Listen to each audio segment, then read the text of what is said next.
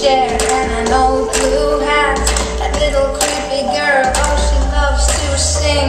She has a little gift, an amazing thing. With her little funny eyes oh, of hazel, with her little funny